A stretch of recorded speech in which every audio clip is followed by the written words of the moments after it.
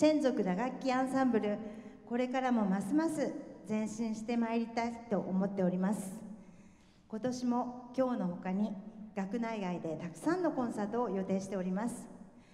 ぜひ皆様お出かけください。私どもこれからもぜひ皆様の応援を力に頑張ってまいります。どうぞよろしくお願いいたします。